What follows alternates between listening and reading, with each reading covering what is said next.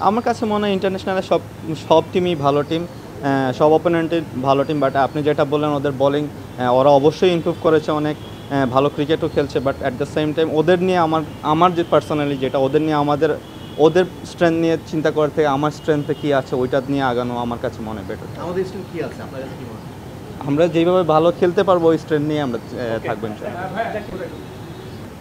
আমার মনে হয় চ্যালেঞ্জ তো অবশ্যই আছে বাট আমার মনে হয় খুব ভালো একটা সিরিজ হবে। আমি যতটুকু জানি সার- শারজার উইকেট খুব ভালো হয় আশা করি খুব ভালো একটা ম্যাচ হবে। না অ্যাজ এ পার্সোনাল যদি আপনি আমাকে বলেন আমার টার্গেট থাকবে যেই ম্যাচই খেলি ইনশাল্লাহ আমি আমার বেস্ট পারফরমেন্সটা দেওয়ার। টিম ওয়াইজ যদি বলি আমরা ইনশাল্লাহ চেষ্টা করব ম্যাচ বাই ম্যাচ খেলার প্রত্যেকটা ম্যাচ আমরা ভালো খেলার চেষ্টা করব ইনশাল্লাহ না আপনি যেটা বলেছেন এটা ভেরি ট্রু যে আমরা ভালো স্টার্ট দিতে পারছি না। টেস্টেও যেমন আমরা ভালো স্টার্ট দিতে পারি নাই, কয়েকটা ম্যাচেও দিতে পারি নাই, তো যার কারণে আমরা একটু ভুগেছি। But at the same time ওইটা নিয়ে পড়ে থাকলে হবে না, যেহেতু খুব তাড়াতাড়ি সিরিজগুলো আসছে। নেক্সট সিরিজে ফাইন্ড আউট করার চেষ্টা করছি, সবাই সবার জায়গা থেকে যে কীভাবে ইমপ্রুভ করা যায়, ওইগুলা ওভারকাম করে প্রত্যেকটা সিরিজে একটা ভালো পার্টনারশিপ করা বা ওপেনিং বা টপ অর্ডার থেকে একটা ভালো একটা পজিশনে দেওয়া টিমকে যাতে মিডল অর্ডারদের জন্য আরও ইজি হয় ভালো আর মিডল অর্ডারদের জন্য আরও ইজি হয়। ফার্স্ট ক্লাস তো অবশ্যই একটা ভিত আমাদের যেটা খেলেই আসতে হবে। হ্যাঁ, আমার হয়তো একটু সময় ছিল এর কারণে আসতে পেরেছি বাট যদি আপনি ওইভাবে মেজারমেন্ট করেন যে ফার্স্ট ক্লাস খেলে আসলেই যে ভালো খেলবে তা না আমি স্টার্ট ভালো করেছি বাট একটা সময় হয়তো মানুষের একটু এদিক সেদিক যায় but at the same time আমি ওইটা নিয়ে পড়ে থাকলেও হবে না আমার ওই জিনিসটা ওভারকাম করে নিজেকে কীভাবে ইন্টারন্যাশনালি কন্টিনিউয়াসলি পারফর্ম করা যায় ওই জিনিসটা ফোকাস থাকতে হবে। না এইটা এইটা আসলে ইম্প্যাক্ট করার কিছু না এটা তো তাদের ব্যক্তিগত ব্যাপার।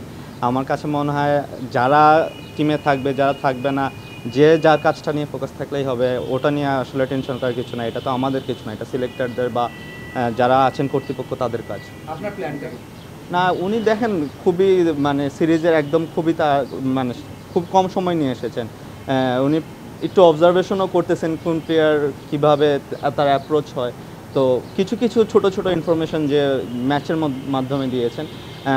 আশা করি যে আরও ইনশাল্লাহ যে আরও ডিটেলসে হয়তো ওনার কাছ থেকে আরও জানব। যেহেতু নতুন আরেকটা সিরিজে ঢুকছি, এখন একটু সময় পাচ্ছি, উনিও আমাদেরকে অনেকটা চিনেছেন, তো আমার কাছে মনে হয় আরও ইজি হবে সামনে। না ট্রানজ্যাকশন তো এটা ওয়ার্ল্ডের সব জায়গায় আছে, ওটা তো থাকবেই।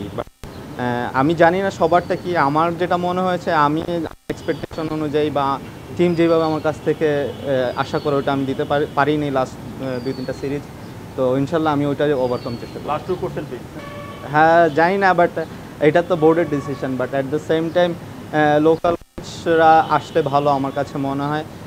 ওটা যদি বোর্ড ভালো বুঝবে আমার থেকে বাট আশা করি যেই আসবে বা আপনি সালাউদ্দিন স্যারের কথা বলেছেন। কমিউনিকেশন অবশ্যই ইজি হবে but at the same time আমাদের সবাই আমার কাছে মনে হয় যে এখন সবার সাথে কোপ আপ করার অ্যাবিলিটি রাখে।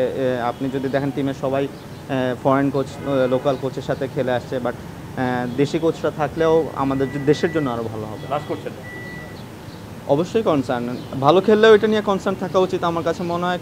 খারাপ খেললেও কনসার্ন থাকা উচিত।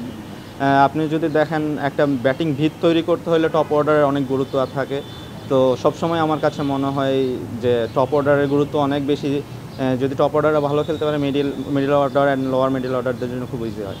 Okay thank you thank you all the best